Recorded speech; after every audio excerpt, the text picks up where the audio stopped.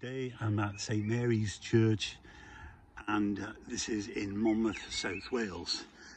I'm on the trail of the curious grave of uh, Mr John Renie. There's lots of legends and myths about this grave and here it is over here. Basically it's one giant crossword.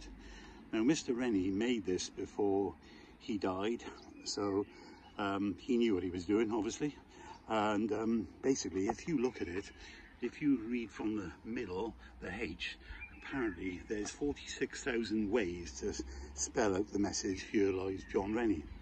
Now here's the thing, he did this before he died, um, and his purpose was to cheat the devil. Now, perhaps Mr. Renie did something in his life that he thought he may go down there rather than up there. So here we have it, the grave of Mr. John Renie, died May 31st, 1832, aged 33 years. The man that tried to cheat the devil.